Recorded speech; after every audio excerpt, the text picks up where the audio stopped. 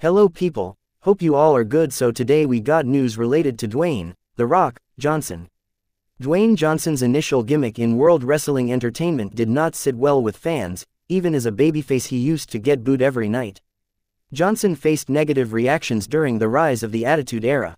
On the latest edition of the Joe Rogan Experience podcast, The Rock revealed that he asked Vince McMahon to let him go out there with the mic and talk to the fans as he wanted to get on the fans' good side.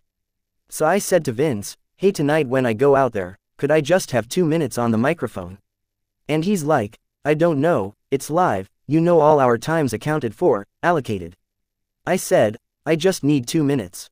He goes, why? I said, I just want to be real and just tell the fans how I feel and I feel like I need to recalibrate things here. He said, fine a minute you got. The former WWE champion further revealed how his mic skills helped him overcome the hate from fans and ultimately become one of the best heels in the business.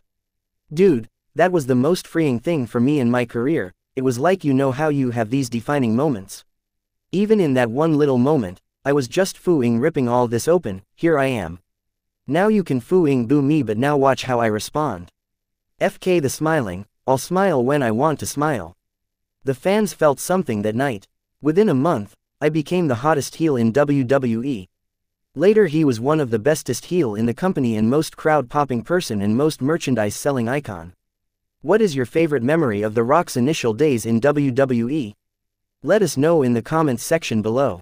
That's all people we will be back with some new and exciting news related to wrestling industry.